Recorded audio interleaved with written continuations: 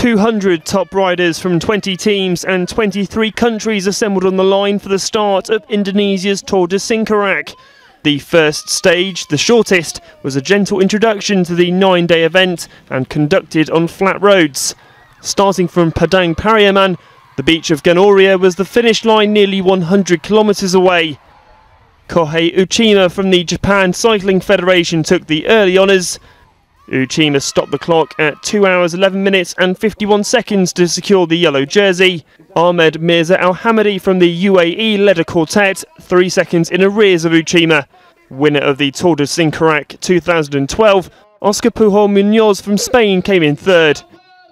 The sixth edition of the event has nine stages, adding up to a total distance of 1,250 kilometres. The 123.5 kilometre second stage moves from Padang to Pasaman.